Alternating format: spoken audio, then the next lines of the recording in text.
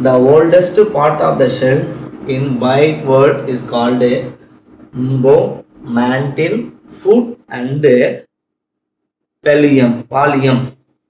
The oldest part of the shell is bivalve is called a umbo, mantle, foot, pallium. So option A is a correct answer. Umbo. Umbo is the oldest part of the shell. Bivalve is called a umbo.